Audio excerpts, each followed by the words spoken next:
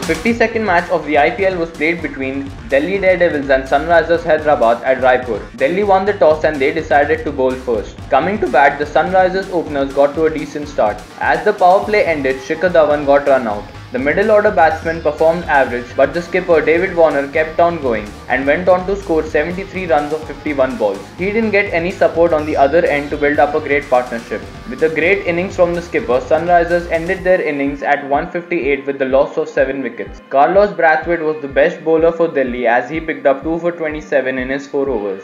Delhi coming to chase this total didn't get a really great start as they lost Quinton de Kock early. Rishabh Pant and Karun Nair played well and were building momentum. Karun Nair went on to play an exceptional innings of 83 runs in 59 balls. A match-winning innings from Karun Nair as Delhi snatched a great and important win to keep their hopes alive to qualify to the playoffs. Karun Nair was chosen as the man of the match for his substantial innings. For more IPL updates, please subscribe our channel, Cricket Fan Club.